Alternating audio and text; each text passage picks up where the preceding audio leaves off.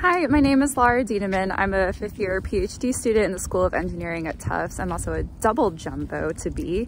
I graduated in 2018 from undergrad here as well. I started running with the Tufts Marathon team about a year and a half ago. It's been a great outlet for me um, and a great way to challenge myself in a different way. I'm running the Boston Marathon and raising money for the Tufts Friedman School of Nutrition um, because my father used to run marathons and he was training for his third marathon when he had a heart attack uh, due to like lack of good nutrition.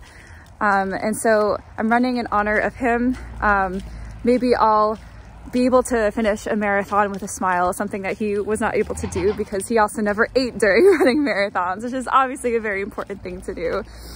Um, so please consider donating to my charity. I really appreciate it. Thanks.